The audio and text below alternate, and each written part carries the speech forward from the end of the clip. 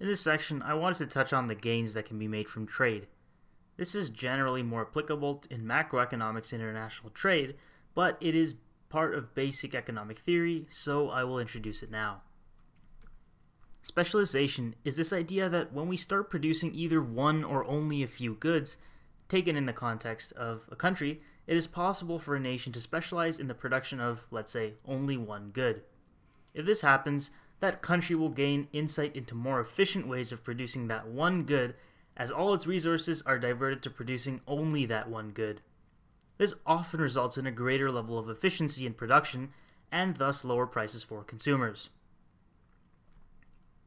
Comparative advantage is defined as the ability of one producer to produce a good at a lower opportunity cost than another producer.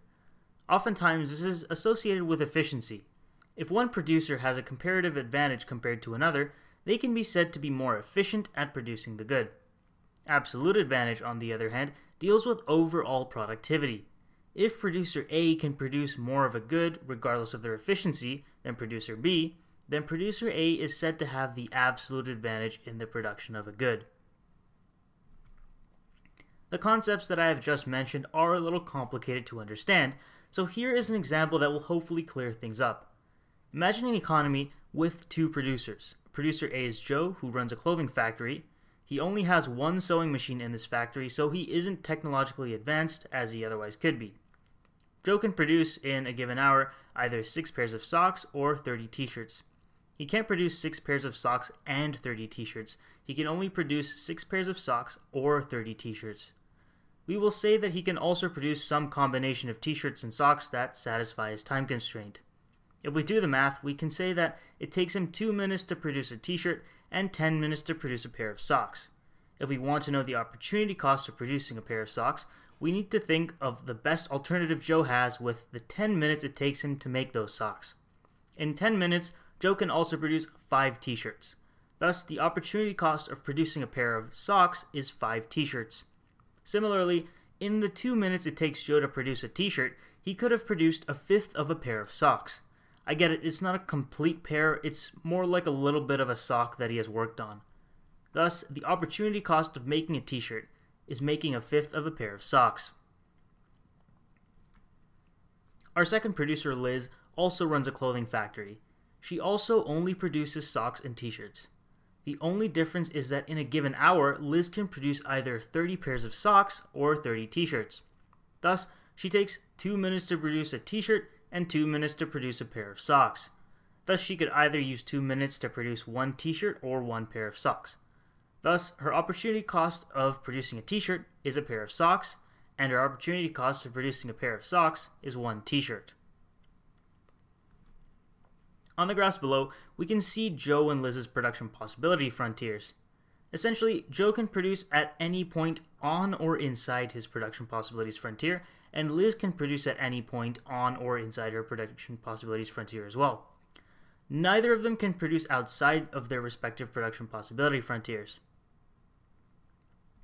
So we've established that both Liz and Joe have different opportunity cost of producing socks and t-shirts, and both can produce different amounts in total. If we look at socks alone, Joe has to sacrifice making 5 t-shirts for every pair of socks he makes, while Liz only has to give up one t-shirt for every pair of socks she makes. Thus, since her opportunity cost of producing socks is lower, we can say that Liz has the comparative advantage in producing socks. On the other hand, it costs Joe a fifth of a pair of socks to produce one t-shirt, while it costs Liz a full pair of socks to produce a single t-shirt.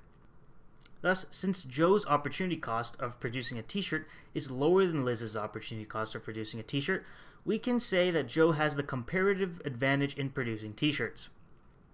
As for absolute advantage, both can produce the same amount of t-shirts if they focus all their efforts on t-shirt production, but Liz can produce more pairs of socks if she specializes in socks. Thus, nobody has the absolute advantage in terms of t-shirt production, but Liz has the absolute advantage in terms of sock production. The information we extracted from the problem can now be applied to our economy in order to make it even more efficient. We get Joe and Liz to specialize in producing whatever they are more efficient at. Joe has the comparative advantage in producing t-shirts, while Liz has the comparative advantage in producing socks. Thus, Joe will only produce t-shirts and Liz will only produce socks. They then trade with each other. Let's pick some random price that they will trade at, say, two t-shirts per pair of socks. On the other hand, this would also mean that one t-shirt would trade for half a pair of socks. For Joe, this is a good deal, because if he were to produce socks by himself, it would cost him 5 t-shirts to produce. Now he only has to pay Liz 2 t-shirts per pair of socks.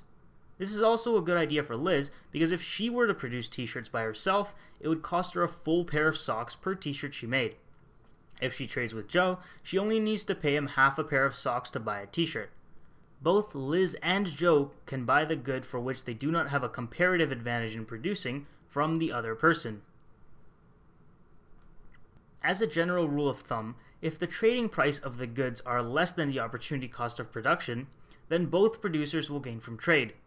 Liz gains from trade because she can buy t-shirts from Joe at a lower cost than her own opportunity cost of production. And Joe gains from trade because he can buy socks from Liz at a lower cost than his own opportunity cost of production. In essence, if they trade, they can consume outside of their production possibilities frontiers. Do keep in mind, though, that they do not by any means produce outside of their production possibilities frontiers.